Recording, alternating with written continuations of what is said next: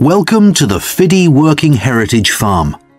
This open-air museum gives you the experience of agriculture and rural life in the English countryside at the end of the 19th century. So you'll see a typical farm of that period, and like me, all the staff are dressed in clothes of that time. I must give you some advice and safety tips before we go any further. As it's a working farm, please don't frighten or injure the animals. We have a lot here, and many of them are breeds that are now quite rare. And do stay at a safe distance from the tools. Some of them have sharp points, which can be pretty dangerous, so please don't touch them. We don't want any accidents, do we? The ground is very uneven, and you might slip if you're wearing sandals, so I'm glad to see you're all wearing shoes. We always advise people to do that.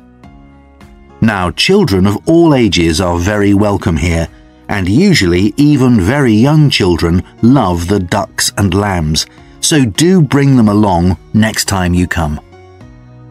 I don't think any of you have brought dogs with you, but in case you have, I'm afraid they'll have to stay in the car park unless they're guide dogs. I'm sure you'll understand that they could cause a lot of problems on a farm. Now let me give you some idea of the layout of the farm. The building where you bought your tickets is the new barn immediately to your right. And we're now at the beginning of the main path to the farmland. And of course, the car park is on your left. The scarecrow you can see in the car park in the corner beside the main path is a traditional figure for keeping the birds away from crops.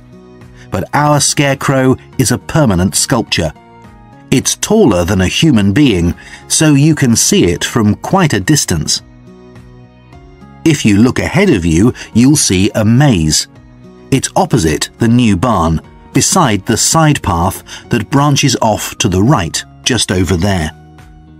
The maze is made out of hedges which are too tall for young children to see over them, but it's quite small so you can't get lost in it.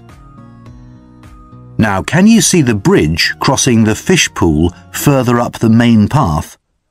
If you want to go to the cafe, go towards the bridge and turn right just before it walk along the side path and the cafes on the first bend you come to.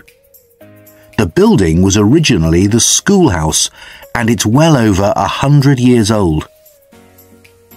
As you may know, we run skills workshops here where you can learn traditional crafts like woodwork and basket making. You can see examples of the work and talk to someone about the courses in the Black Barn.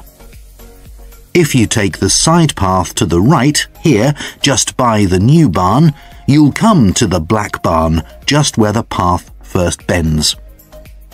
Now, I mustn't forget to tell you about picnicking, as I can see some of you have brought your lunch with you. You can picnic in the field, though do clear up behind you, of course.